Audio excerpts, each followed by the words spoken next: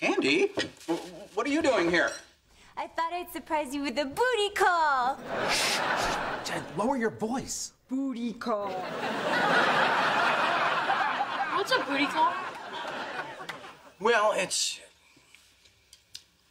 You know, this is more the kind of thing a, a, a son should learn from his father. Oh, okay. Maybe you should ask him now. Going to hell. It's a really sweet gesture, but this is not a great time. Hey, Dad, what's a booty call? Oh, oh, hey, hey, Jake, you, uh, you, you remember Candy? Sure. Hi, Candy. Hi. So what's a booty call? I figured you didn't want me telling him. Was I wrong?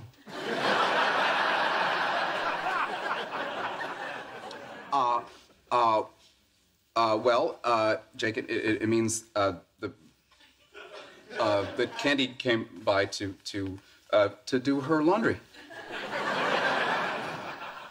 I don't see any laundry.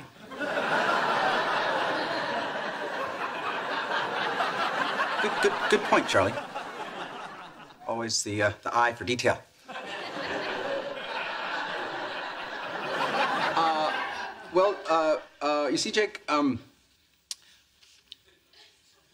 in the Old West, uh, uh, cowboys uh, could be out on the, the dusty range uh, uh, for months at a time, and they'd get mighty dirty. Um, so they'd they'd mosey into town with nothing but the, the clothes on their backs, and they'd need to, to, to wash them. So what what they'd do is uh, they they would go down to the the the creek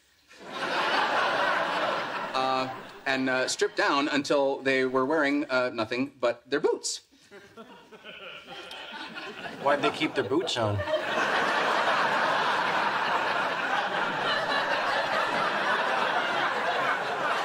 rattlesnakes.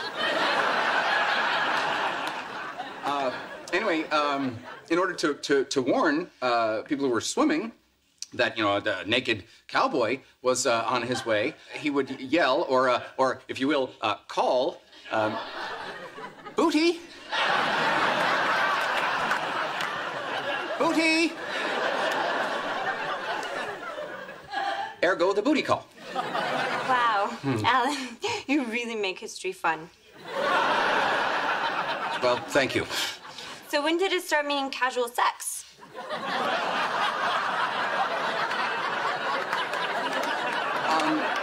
Why don't you go play a video game or something? Okay. Great. Hey, Candy, you want to come to my birthday party tomorrow? Sure. How old are you gonna be? 12. Happy bar mitzvah. Well, this works out well. When you're not boinking her, she's got someone to play with.